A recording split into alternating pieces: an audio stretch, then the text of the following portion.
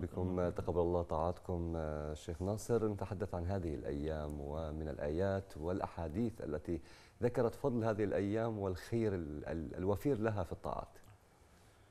الحمد لله رب العالمين والصلاة والسلام على أشرف الخلق أجمعين.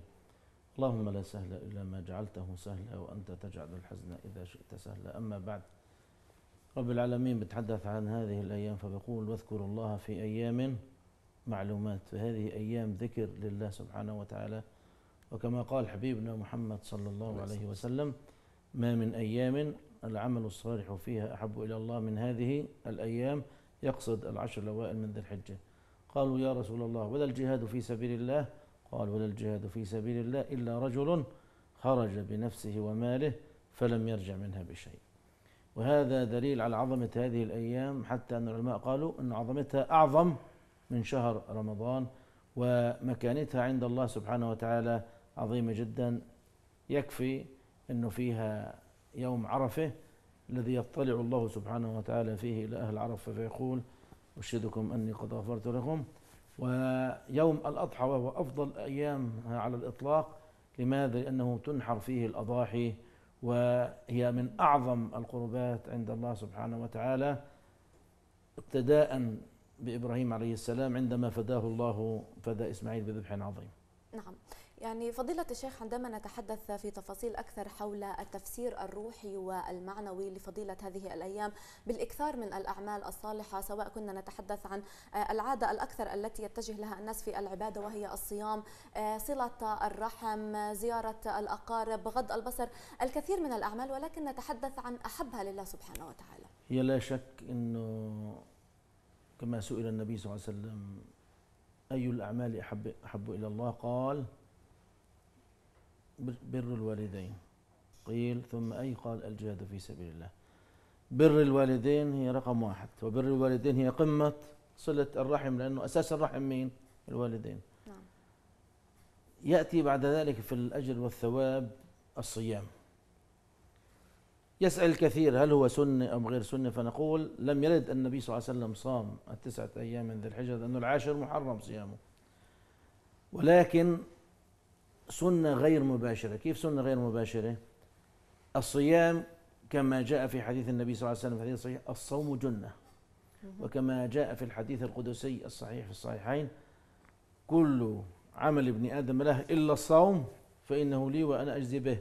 يقصد بالصوم مش شهر رمضان فقط أي صوم. صوم النوافل. فهي من أفضل الأعمال وأفضل القربات إلى الله سبحانه وتعالى ولكن لا يشترط الإنسان أن يصوم كل تسعة أيام يصوم ما استطاع. إنسان بيستطيع يصوم يوم يوم يومين ثلاثة ما في مشكلة. ولكن اللي بيصومها كلها أفضل. كل إنسان حسب عمله وحسب جهده وطاقته. ولكن أفضل الأيام صيامها بلا شك هي صوم يوم عرفة لقول النبي صلى الله عليه وسلم صيام يوم عرفة يوم عرفة أحتسب على الله أن يكفر السنة السابقة واللاحقة ففيه أجر سنتين كاملة. يا رب إن شاء الله. شيخ ناصر لما نتحدث عن هذه الشعائر اليوم تبدأ مع كل أبناء هذه الأمة الإسلامية شعائر الحج ابتداء مع هذا الشهر وصولا ليوم عرفة هذا اليوم العظيم جدا. لمن لم يلتحقوا بالحج كيف ممكن أن نقوم بالعبادات غير الصوم والطاعة؟ وأيضا خي يعني أحب الأدعية التي يستحب أن ندعو فيها ونتقرب فيها الله عز وجل. هو بلا شك كيف يستغل الإنسان هذه العشرة أيام؟ نبدأ ببداية اليوم بصلاة الجماعة وأفضلها صلاة الفجر على الإطلاق لقول الله سبحانه وتعالى والفجر. نعم. يعني خصص الفجر في هذه الليالي العشر لماذا؟ لمكانته. قال بعض المفسرين المقصود في الفجر اليوم الأضحى ولكن الصحيح أنه كل أيام الفجر فما بالك في العشر الأوائل من ذي الحجة؟ فصلاة الفجر لها فضيلة على كل الصلوات.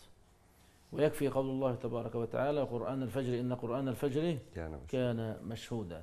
ويكفي في ذلك قول النبي صلى الله عليه وسلم من صلى الفجر في جماعة فهو في ذمة الله. يعني في حماية الله تبارك وتعالى.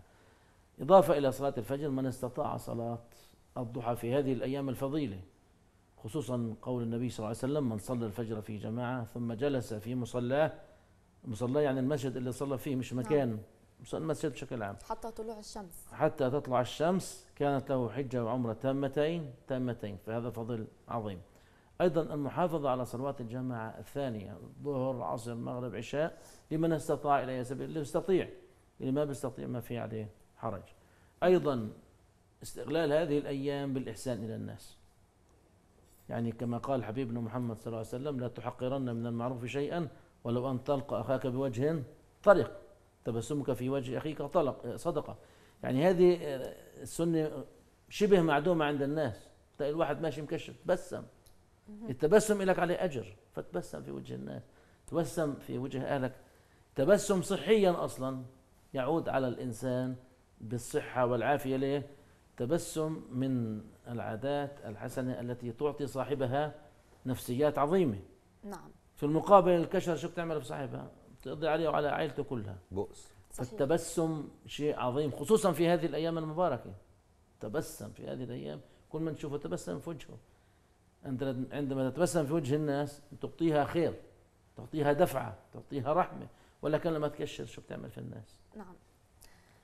تفضل فضيلة الشيخ يعني آه، شعائر الله من تقوى القلوب. عندما نتحدث عن فضل العشر ذي الحجة أيضا نتحدث عن شعائر الحج. فبالتالي نتحدث عن الإحرام رمي الجمرات يوم عرفة. كل هذه التفاصيل والشعائر التي يقوم بها حجاج بيت الله الحرام أيضا لها فضل وتحسب لهم أجر عند الله سبحانه وتعالى. خلينا نتحدث عن هذا الفضل لهذه الشعائر المباركة. فضائل الشعائر هي بلا شك هي أساسات الحج. في عندنا أساسات أركان في الحج.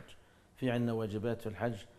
أركان الحج إذا قصر في أحد الأركان بطل الحج. نعم. وأهم هذه الأركان وقفة عرفة وهي أفضل أركان الحج. ليه؟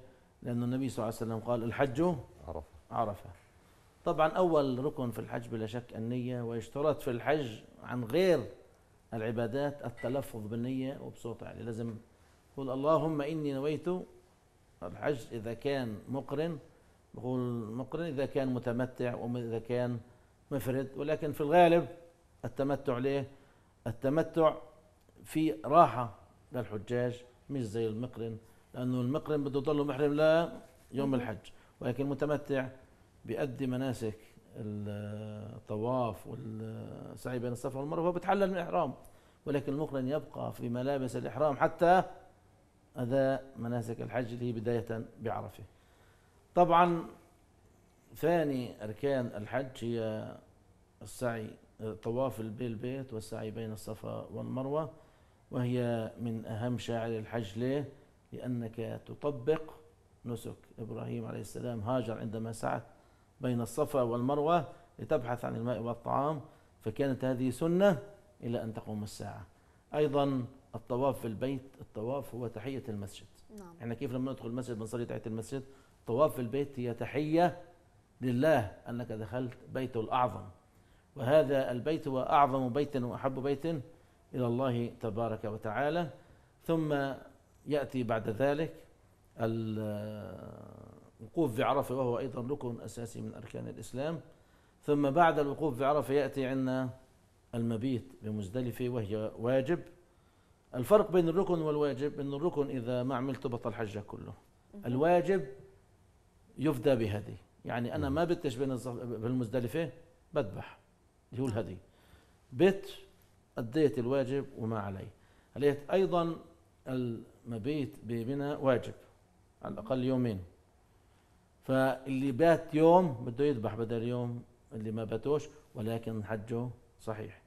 يقضى بالهدي. وهذا ما نتمناه إن شاء الله أن يتقبل الله. عز وجل من حجاجنا وأن يعودوا بالسلامة وسنتابع أكثر في هذه الأيام الفضيلة. شكرا لك آه، فضيلة الشيخ ناصر الدين سيد أحمد إمام مسجد الرحمن. تقبل الله طاعتكم وكل عام وأنتم بخير. بارك الله فيك وكل عام جميع الأمة الإسلامية بخير إن شاء الله.